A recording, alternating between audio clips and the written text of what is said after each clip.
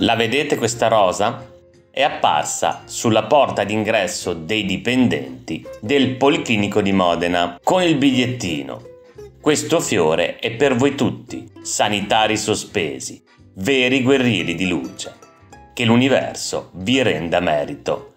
Vi vogliamo bene e poi un cuore. Leggiamo l'articolo della pressa. Policlinico di Modena. Una rosa rossa per riaccogliere i medici sospesi.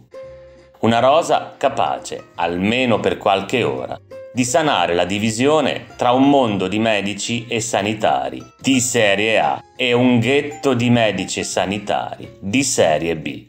Ed è proprio quello che stanno cercando di fare, separare nuovamente i buoni dai cattivi vi ricordate quando ci fu il reintegro dei professori sospesi, i quali furono destinati agli scantinati, in modo che non potessero entrare in contatto con i ragazzi ed influenzarli con le loro idee? Ecco, sta avvenendo la stessa cosa. Alcuni governatori di regione, tra cui De Luca della Campania, hanno detto espressamente che i sanitari sospesi reintegrati non potranno stare a contatto con i pazienti.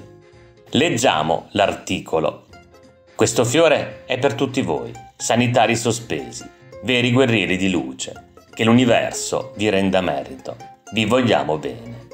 È questo il cartello a commento di una splendida rosa rossa, appesa da una mano anonima questa mattina sulla porta dell'ingresso 1 del Policlinico di Modena, riservato ai dipendenti.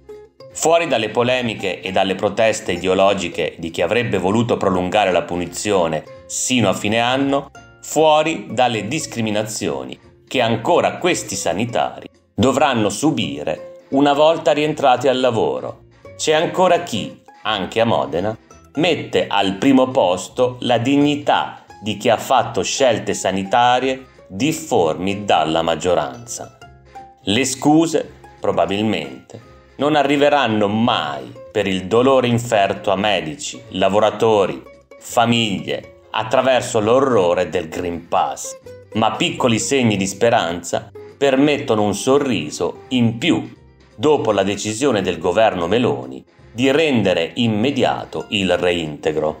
Dopo qualche ora il fiore appeso sulla porta d'ingresso del policlinico è stato rimosso da un'altra mano, altrettanto anonima.